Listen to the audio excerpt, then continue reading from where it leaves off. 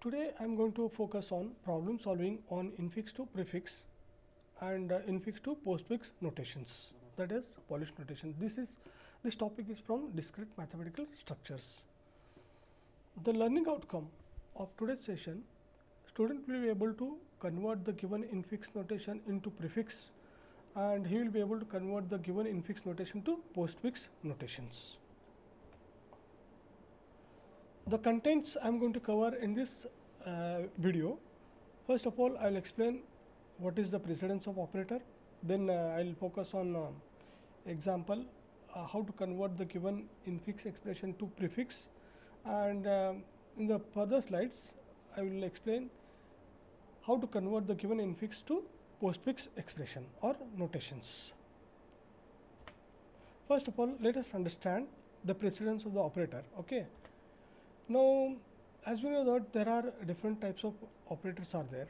Okay, we have studied various operators. Out of that, uh, the negation has got the highest priority. Then and is the next. Then or conditional and biconditional. So, in these five in these five operators, biconditional has got the least priority, uh, whereas the negation has got the highest priority.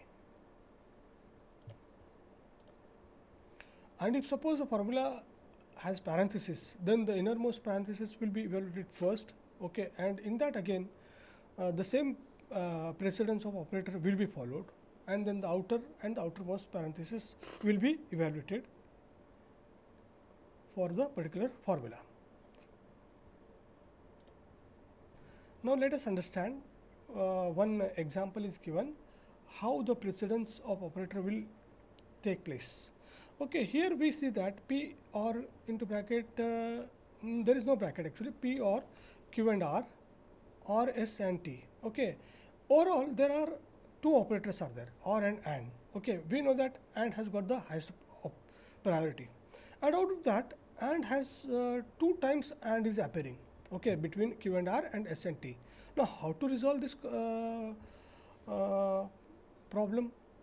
Uh, which one should be evaluated first? For that, okay, for to resolve this, okay, to resolve this, what we do? We come to the left side of the formula. Okay, now we will traverse from the left hand side. Okay, whichever and comes first, that is Q and or. So, this will be evaluated first. That's why it is written as one. Then, secondly, S and T, okay, this comes and comes second, okay, so this will be evaluated second. Then R again two operators are uh, same operator, okay, but uh, in a formula twicely appearing. So that uh, again we will resolve the same uh, problem with the coming to the left hand side of the formula. We will traverse from the left hand side whichever or comes first, okay, that will be evaluated first. So this particular R will be evaluated first, then this or will be evaluated at the end. Okay. So, the priority of this particular uh, formula will be Q and R first, S and T second, then the result of P or into uh, first uh, T1 and uh, result of uh, the entire this or will be evaluated. Let us focus on the problem number 1 the problem is given p conditional q or r or s okay now brackets are there so first of all brackets has got the highest precedence. Okay, so innermost bracket is what p conditional q. Okay, the second bracket is r or s. Both are at the same level.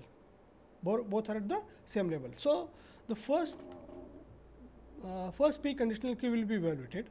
Okay, then second r or s will be evaluated, and third the result of these two.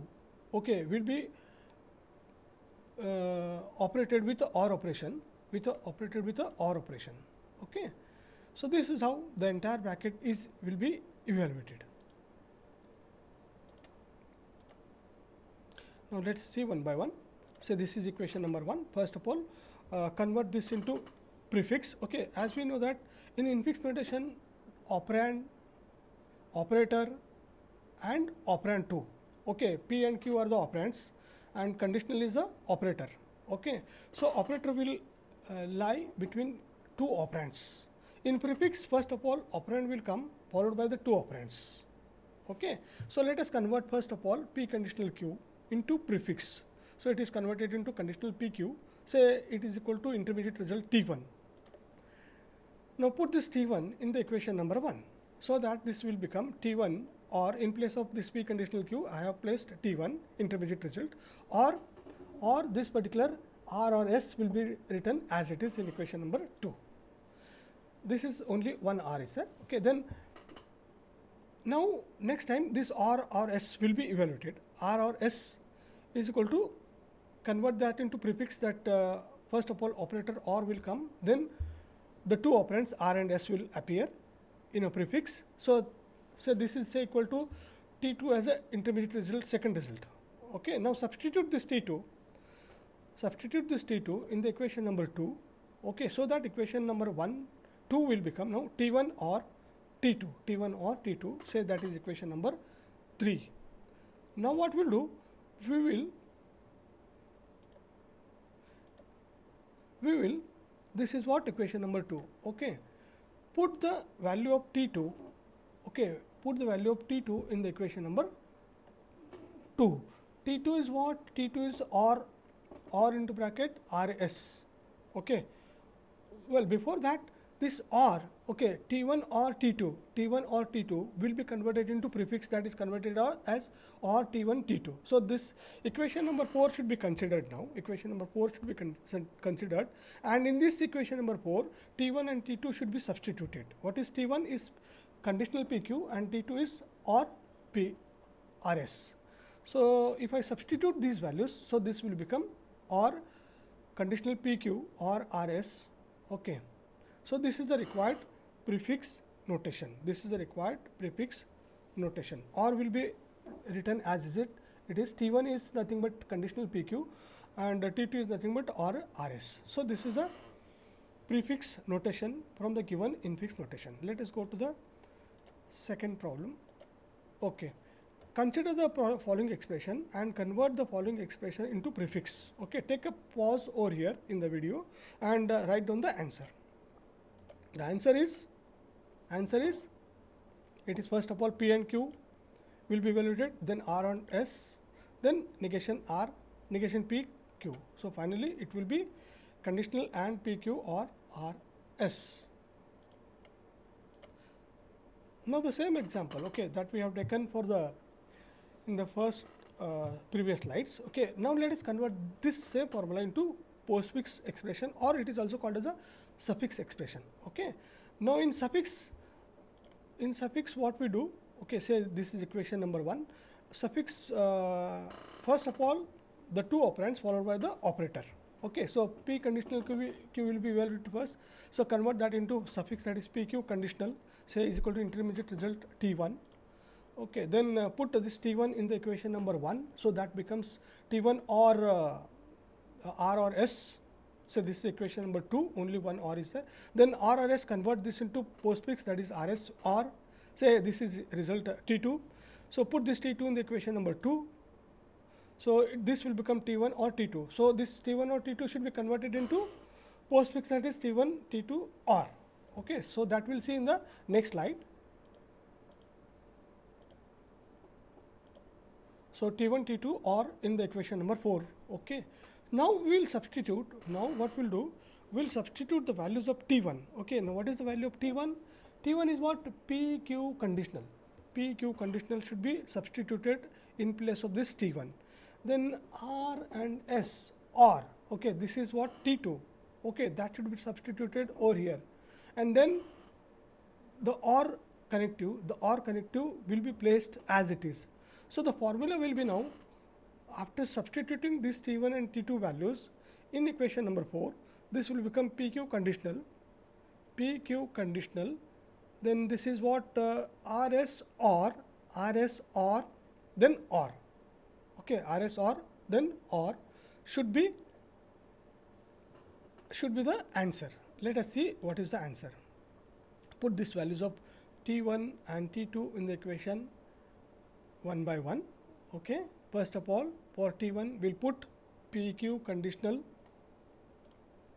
Okay, PQ conditional. Okay, then for T2, for T2, what we'll do? This uh, value of RSR, RSR, then or will be placed over here. Okay. Now, if you look at this particular formula, if you look at this particular formula, this is this is the same formula. Okay, whatever the formula was given to us. Okay, so we have converted into this is the required postfix or suffix expression.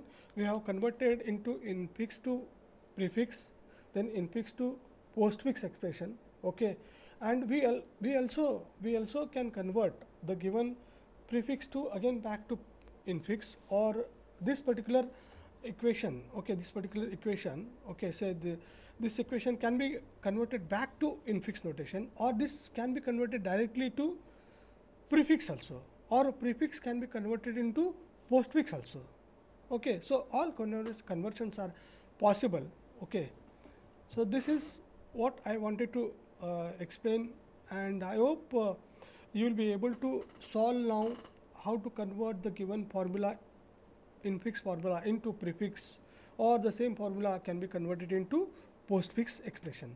So, these are the references and uh, I think uh, I think uh, you liked the videos. Thank you very much. Have a good day.